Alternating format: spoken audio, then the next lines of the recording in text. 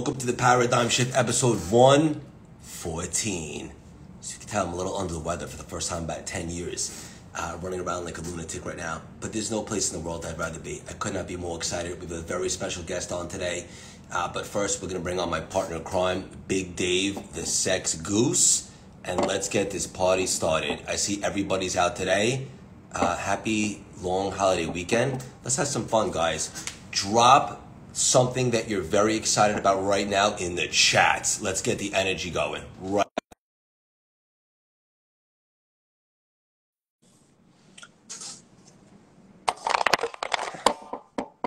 Chats in the house. Big Maddie, we're going to bring you on lesson five. Lesson five. Uncle Dave. What's up, Craig?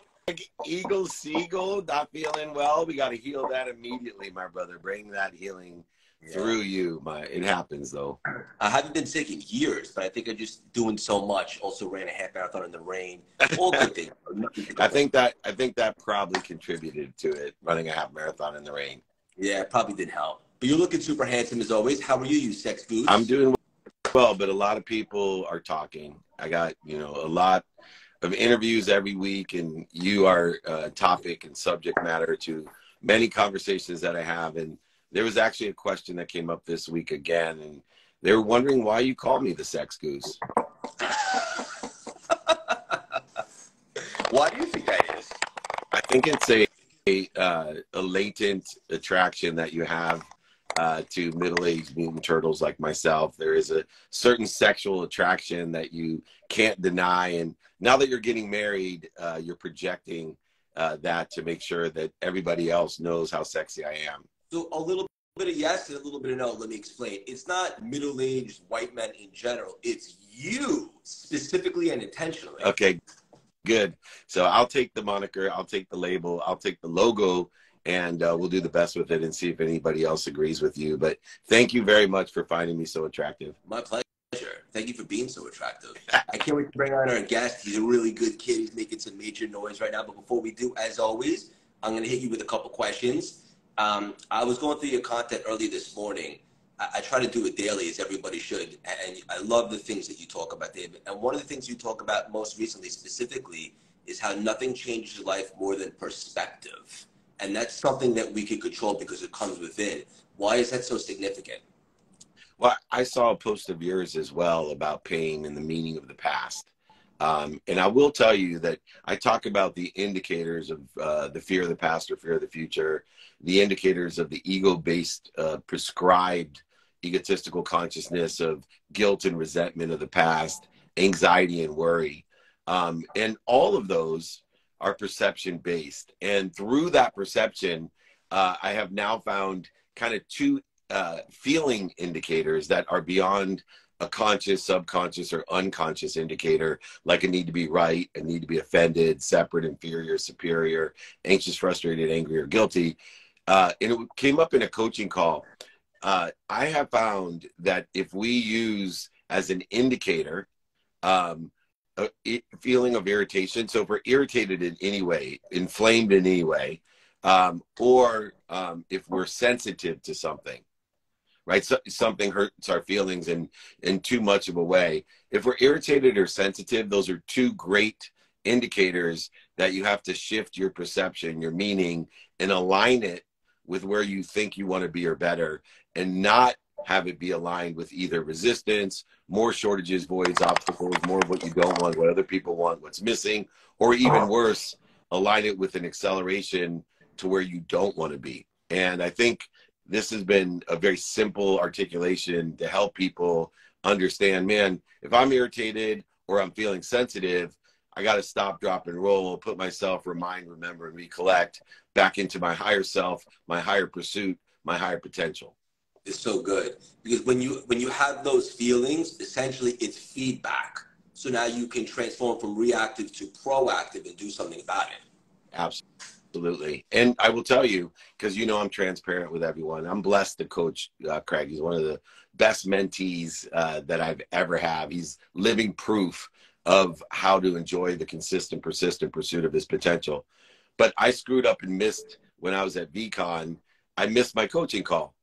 And I'm accountable and, and I was irritated and sensitive uh, for myself to do that. But I also was irritated and sensitive to the fact that Craig is like, oh, it's okay. We'll just do the next one. And it took me a little while to stop, drop, and roll because I felt like, one, I cheated him. But then I felt even worse that he was cheating himself, that uh, somehow I made it personal about me, that he didn't value the session enough where it could have been my perception could have been, oh, I do so much for Craig, he doesn't give a shit, and he probably doesn't want to get in my way because he sees me traveling from VeeCon to Vegas to home, and he knows, you know, I'm dealing with some personal stuff as well, and he's being a kind friend for all that I've done for him. But my media perception was one of myself, ego, going, oh, he doesn't value my coaching because he wants to wait till the next time. And then I rethought about it. and I said, no, I'm going to choose to have this perception that you know we have such a great relationship. He's let me off the hook.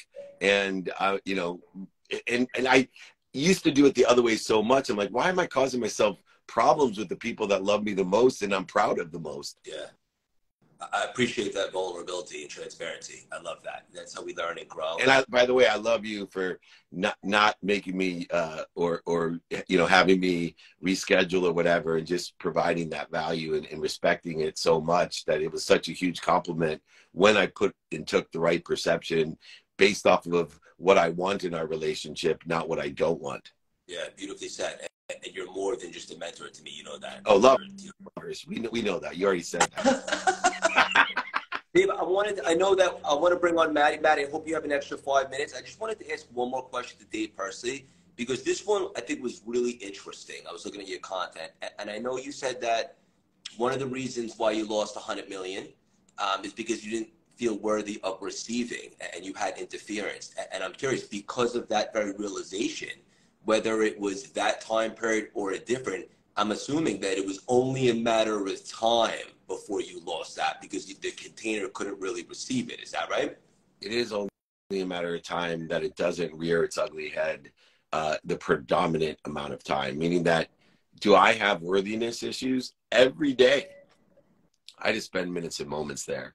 So uh, the majority of my time is spent in the trajectory of I am happy, I am healthy, I am wealthy, I am worthy and then minutes and moments are spent in what am I doing to interfere with it, like being insecure, not feeling worthy of all that I have in my life now, instead of feeling so blessed that I have an extraordinary life with everything I ever dreamed of. Why would I feel unworthy if I've been blessed and anointed? You really are a sex octopus. It's unbelievable. I'm gonna bring on um, handsome Matt Mayberry right now. I'm really excited about him. Great kid, great guy, doing some great things, and the audience is for a treat right now. Nope. Dave, what are you doing for the long holiday weekend? Anything interesting? Oh, very much. I'm I'm doing a ton in sports. So I'm playing tennis with my wife, golf with my 13 year old, family dinners and lunches, and there's double M right there. The incredible Maddie Mack. How you guys Matt, doing? Yeah, amazing. It's good to hear uh, Craig calling someone else young, so that's nice. to be honest with you, I'm now the third most handsome cat on this live. Matt, how you doing? Thank you I'm for joining us, brother. I'm doing great, guys. Thanks for having me. Excited. Yeah, awesome. I'm really, I'm really excited about this conversation. Matt, you and I connected a little while back, and we instantly became friends. And you're doing some awesome stuff. I know your book recently just hit the Wall Street Journal bestseller. Congratulations!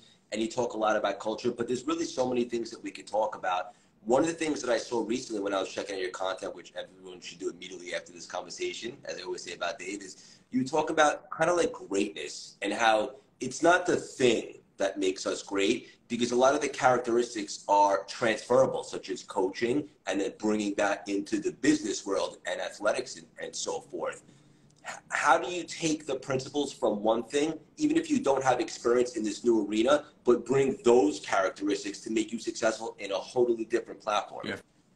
Fantastic question. You know, something I talk a lot about is re- really probably one of the greatest coaches and mentors I had throughout the course of my life. His name was Terry Hoeppner, right? So my college coach at Indiana University, and he always used to have this mantra, you know, GBT, it was written on our shorts, our you know shirts. I mean, everything we did was focused around and really revolved around GBT, which stands for Get Better Today.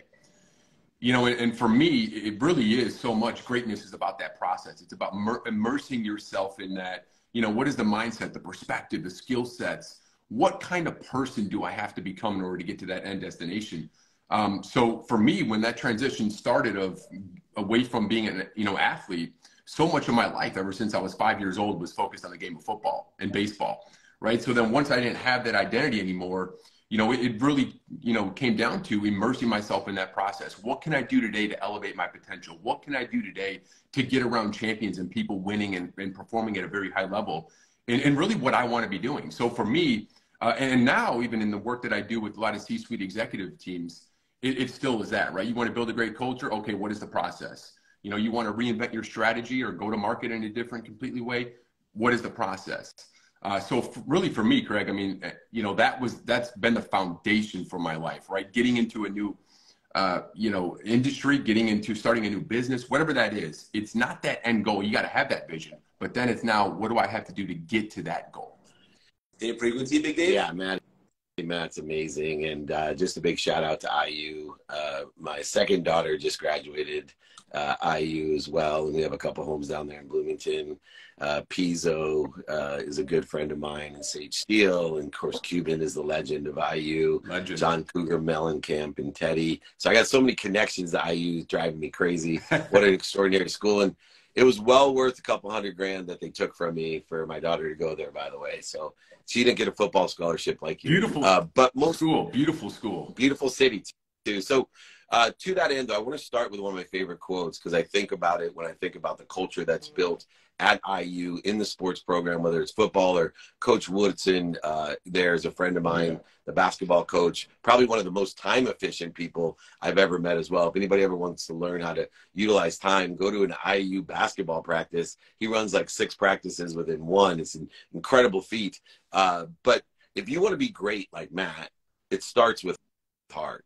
If you want to be amazing, it's going to start with the impossible. And it starts those hard and impossible things with having the right culture that's based off of values daily practices and an execution model that is aligned with the skills knowledge and desire of each individual within the context of the values practices and execution model that you create. And matt's one of the best in the world at coming into those c suites to coming into corporations and teaching them what he's learned not only in sports but applying it in business of how to build a culture of values, daily practices, and the execution model, which is one thing. But what makes it unique and what makes your book unique too is I love the way, uh, at least what I took from it, that you take the individuals and you look at their strengths, their skills, their knowledge of what and who, and their desires, and align them with the values, practices, and execution model. I think a lot of people are missing that component. They're really great at talking to people and saying,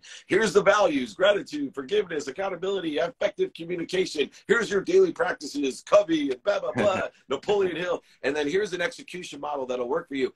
And then they forgot that there's a whole bunch of people, individuals, that need to work within the context of that. And uh, if you haven't read the book, you should. If you haven't hired Matt, you should, because he's one of the few people that get the individuality within the context of values, practices, and execution. Yeah. No doubt why I went to IU, I by the way. Appreciate that, Dave. I, I appreciate that so much.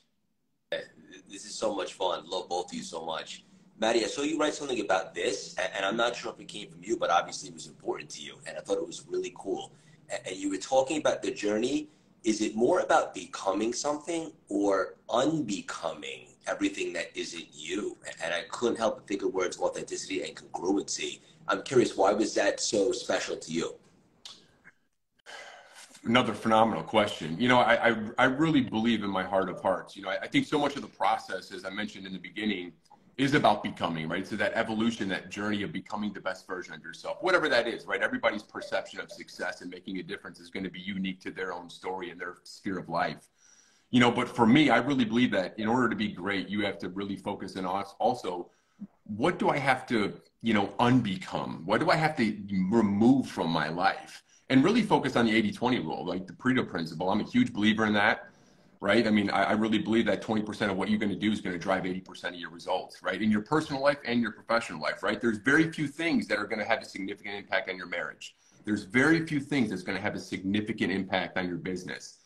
Um, and I think it's constantly taking, you know, reinvention of, of looking at how can I reinvent my life and look at it from a perspective of where do I want to go, but then also look at the mindset and perception and the skill sets and also focus on what are the processes and, and really the mindsets also that I have to remove from my life. Because so much for me, uh, Craig and Dave, is, really focusing on removing a certain story I had that was playing internally in my head. Right. And I think to any anytime you want to go to that new phase of life, right, that new phase of your business, you know, what story are you telling yourself? Because so many of us, right, are telling a limited story, right? I can't do this. I, I wasn't raised with this. I don't have the resources for this. Um, you know, so for me, when I started to focus on how can I unbecome and remove some of these limiting stories, my life transformed. My life changed in so many ways. And to be honest with you, that's one of the very first things I do with uh, leadership teams, right? I mean, you know, 25, 35 year careers, you'd be shocked and astonished to realize that so many of them, right, have a certain story that they're telling themselves about their business or their leadership or whatever that is. So uh, I, I think they're equally important, you know, Craig. I think you have to focus on who do I want to become but then also what do I have to unbecome in my life? You speak in my language now, and, and there's such power in letting go, right, Dave? Yeah. First, you can never overachieve your own self image, and those self stories, self belief, and self lessons are the limitations of uh, what we are or are becoming in an infinite unified system of thought.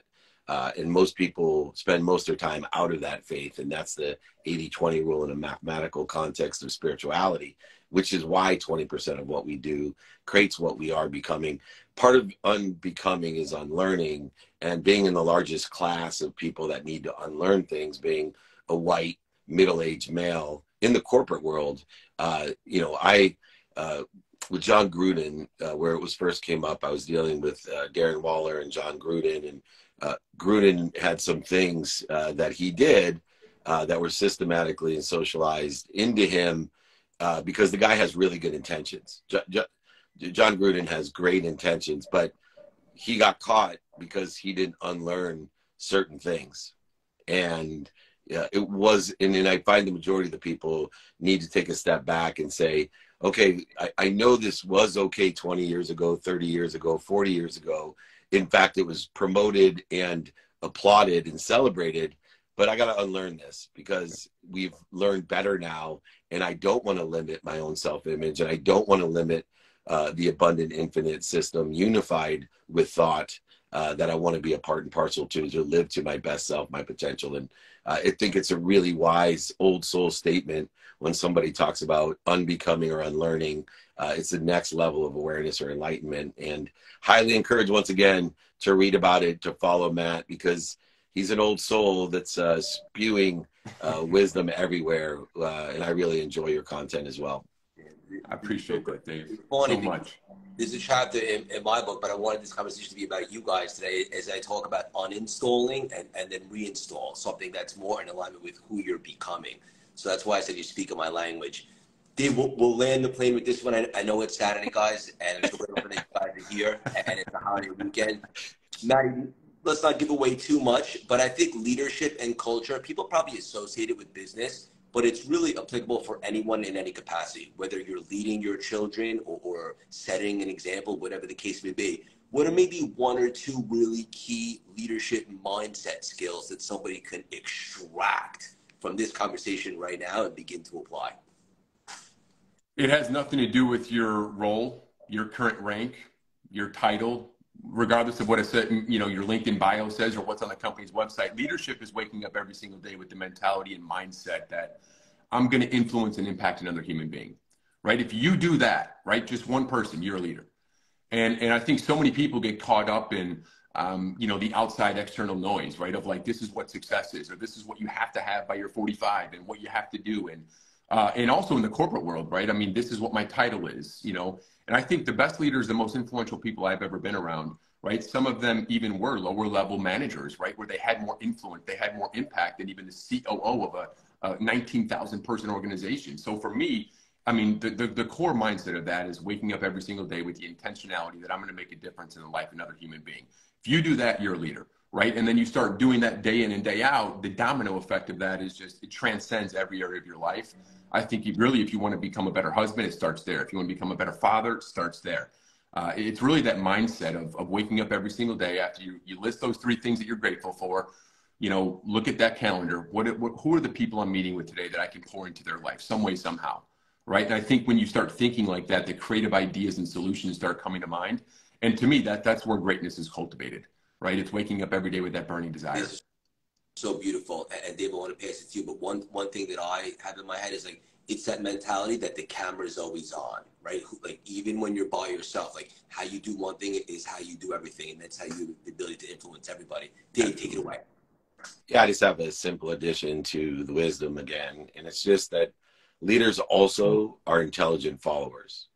Uh, and life's about lessons. The lessons keep on coming until we learn them. And if you truly want to be a leader at home, in the community, in the world, at your business, wherever you are on the field, uh, the greatest leaders are intelligent followers. Intelligence is a aggregation of intuition, inspiration, and information. Uh, and if you carry uh, that desire to be the best that you can be, to be what you must be, uh, then you're going to be an intelligent follower, which will be conducive to Love being that. a great leader. Uh, so uh, just wanted to add that to the genius that my two young, uh, unbelievable leaders uh, are sharing with everyone. And I really respect both of you for taking the time. When I was your age, there was no way on a Saturday morning uh, that I would have uh, been sharing any of the dummy tax that I've paid. And I just respect and am elated uh, that there's people like you two out there helping so many people and impacting them. I will add as we, we land the plane, Craggy Poo, uh, I heard someone say, you know, one, one simple thing that you can do each day is go out, especially if you're in New York City, because it's so easy, and just let somebody know they're not alone. Mm. Very simple way to be kind to your future self and do a good deed. It's an amazing, powerful tool to let someone know they're not alone. Love that. Amen. Yeah, and everybody, if you could do one thing for us, go grab Maddie's new book. It's phenomenal. It's applicable and universal for where you are in, any arena of life. Thank and pre-order so much. Craig's book. Pre-order, and pre-order Craig's, Craig's book. book. Yes. And, and get my book for free. get my book for free.